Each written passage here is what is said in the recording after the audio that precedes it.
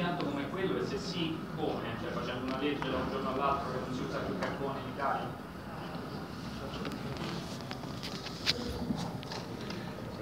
Noi abbiamo pensato di utilizzare la risposta ovviamente sì, questo è pacifico, naturalmente. Le, le grandi centralità lo sa sono a Brindisi e Civitavecchia, quelle grosse, perché poi a Brindisi abbiamo la più grande d'Italia e poi ci sta anche quella della Edison che è a fianco, come sa. Um, si può fare, si può fare con un sistema di tassazione delle emissioni.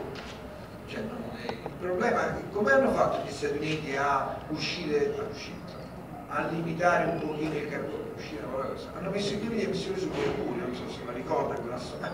Allora noi se iniziamo a far pagare l'esternalità diventa meno conveniente, il costo di energia prodotta a carbone si alza e forse diventano teoricamente convenienti tutte quelle centrali che sono state realizzate dal decreto Marzano sblocca centrale 2003 quando abbiamo costruito 25.000 megawatt di nuove centrali a ciclo combinato con un'efficienza di circa il 60% che sono lì e teoricamente, teoricamente soffrono.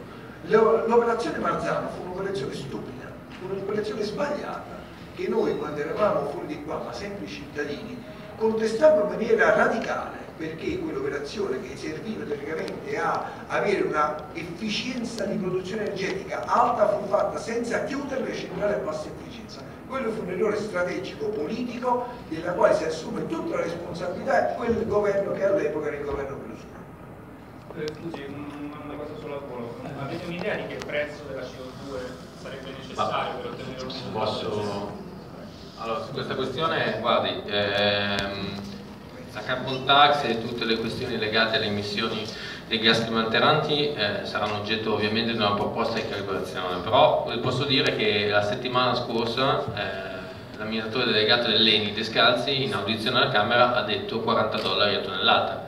Quindi io credo che eh, diversi soggetti stanno ragionando su questa necessità e credo che oggi con un prezzo del petrolio così basso sia indispensabile mettere adesso perché è il momento giusto per riuscire ad agire puntualmente su questo sistema e non scombussolare dal punto di vista energetico la questione.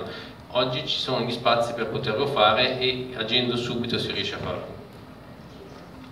Sì, allora io potrei cominciare dal fondo e darle qualche dato. Nel 2013 la Corte dei Conti inglese ha fatto una stima di quanto poteva essere il costo della sola CO2 per tonnellata ha detto tra 30 e 120 sterline. Questi sono dati 2013. Ovviamente eh, adesso sembra che noi siamo i cattivoni che vogliono, eccolo lì, che facciamo chiudere la centrale Enel. Allora, eh, io le ricordo, ricordo a tutti quanti la centrale Galileo Ferraris che c'è a Trino Vercellese, che è stata costruita nel 1991 e che ha sempre funzionato a singhiozzo, pur essendo dal punto di vista termodinamico un vero e proprio gioiellino. Quella è stata la dimostrazione di un investimento sbagliato per cui eh, noi non diciamo che centrale, le centrali a carbone debbano chiudere perché io ho schiacciato il bottoncino, semplicemente ciascuna centrale, ciascun ente, ciascun produttore di energia deve essere consapevole che quell'energia deve essere prezzata correttamente, quindi noi vogliamo solamente ristabilire il paletto dell'equità.